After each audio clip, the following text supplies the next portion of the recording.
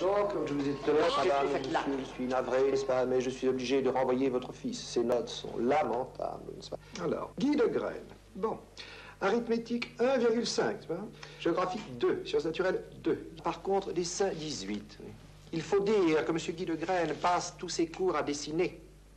Il dessine des fourchettes, des couteaux, etc., des plats.